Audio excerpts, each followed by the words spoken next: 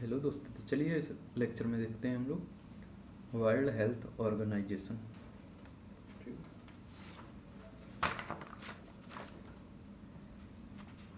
W H O इसकी ये स्थापना हुई थी सात अप्रैल 1948 में। और आपको बता दें, सात अप्रैल को स्वास्थ्य दिवस मनाया जाता है, ठीक?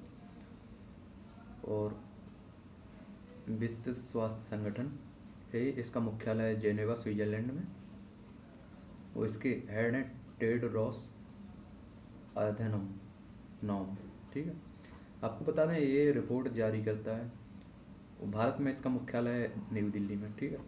ये रिपोर्ट जारी करता है, विश्व स्वास्थ्य रिपोर्ट डब्ल्यू एच जारी करता है रिपोर्ट विश्व स्वास्थ्य रिपोर्ट और दूसरी है स्वास्थ्य के लिए मानव संसाधन। आपको बता दें डब्ल्यू एच ओ के प्राथमिक क्षेत्र हैं। स्वास्थ्य प्रणाली में सुधार, गैर संचारी रोग संचारी रोग, कॉरपोरेट सेवाएँ, निगरानी और प्रतिक्रिया। इसके प्रमुख क्षेत्र हैं। इसके बारे में और मुख्य तथ्य जो 1980 में स्मॉल पॉक्स का उन्मूलन इसी के प्रयासों के तहत किया गया था। इसके सदस्य देशों की बात करें तो एक सौ पंचानवे हैं, एक सौ तिरानवे संयुक्त राष्ट्र वाले हैं पूरे, और दो गैर सदस्य हैं। पॉलिसी फिलिस्तीन। इसमें भारत से संबंधित सौम्या स्वामीनाथन उप महानिदेशक पद पर नियुक्त होने वाली पहली भारतीय महिला थी।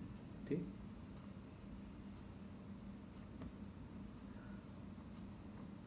तो ये था डब्ल्यू एच ओ, विश्व स्वास्थ्य स्वास्थ्य संगठन। ठीक है?